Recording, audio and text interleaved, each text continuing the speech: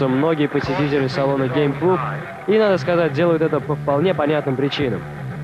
После этого сюжета вы и сами поймете, чего лишаете себя каждый день, каждый час не игры в Max Payne, часть вторая.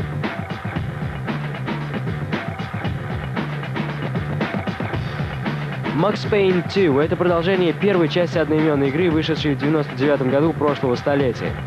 Изменений в игре столько, что ее просто не узнать. Так что разбираемся с самого начала. Итак, главный герой этой игры — полицейский, попавший в такую переделку, что все проблемы с твоей несданной летней сессией цветочки по сравнению с проблемами, возникшими перед Максом.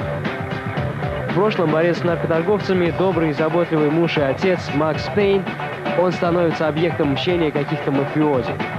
Семья Макса погибает от рук бандитов, Самого его поставляют так, что он получается убийцей начальника полиции, однако Пейн не сдается и решает первым добраться до того человека, который, превратив его жизнь в кромешный ад, сам стремится сделать это. Сюжет, как видите, хорош тем, что большое количество врагов теперь оправдано. Мафия не любит Пейна за то, что тот постоянно сует свой нос в их конфиденциальные дела. Полиция считает Макса предателем. Короче, противников в игре море. Вообще, сюжетная линия для экшена третьего лица продумана в Макс Пейн весьма хорошо. Наконец-то игры этого жанра стали обладать грамотно продуманной сюжетной линией. Однако самой сильной частью этой игры остается совсем другой аспект. С самого начала разработки проекта, привлекавший внимание огромного количества игровых критиков, и на которые, пожалуй, делался основной упор при разработке второй части Max Payne. Этот аспект — визуализация. Да, самая сильная часть этой игры — это, пожалуй, есть пресловутая графика, которая сделала большой скачок именно в этой игре, что позволяет судить о ней скорее как о картинке, как говорят на производстве кино.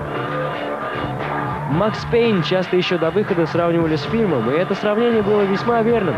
Причем я подозреваю, какой фильм приходит на ум большинство зрителей бонуса, когда они видят кадры вроде вот этих. Да, «Матрица» собственной персоной, добравшаяся до экранов наших мониторов. Итак, мы видим пресловутое понятие «время пули», то есть те несколько мгновений, пока этот смертоносный кусок металла рассекает воздух, следуя к своей цели. Само собой, что называется, по лучшим традициям жанра, мы видим это время замедленным, и это, надо сказать, дает нам неоспоримые преимущества над противником. Правда, временем все равно нужно уметь распоряжаться, даже несмотря на то, что на первый взгляд его кажется много. Стремление воплотить этот эффект в компьютерной игре поставило перед разработчиками ряд задач, с которыми необходимо было справиться для достижения высокого качества видеоряда. В первую очередь это коснулось детализации сцен.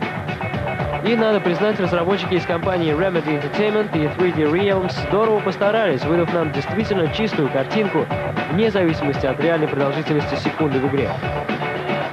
Кстати, огромная локация, воплощенная в Макс Пейн, это достоверный Нью-Йорк. Само собой, еще целый Нью-Йорк. Что представляет хоть какую-то возможность увидеть его небоскребы тем, кто уже никогда, по понятным и весьма горьким причинам не сможет увидеть их в реальности.